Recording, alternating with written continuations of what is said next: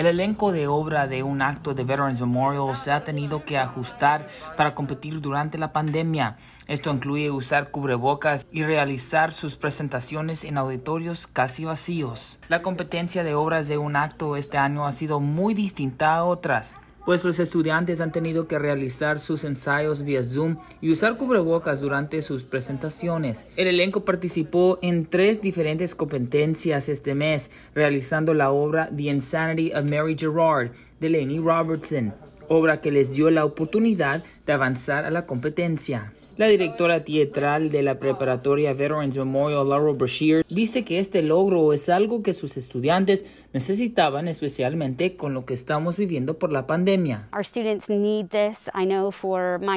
Sé que mis estudiantes hablarán sobre esto y sobre mí. El poder competir y participar este año es algo muy importante para nosotros. Nos da un sentimiento de normalidad.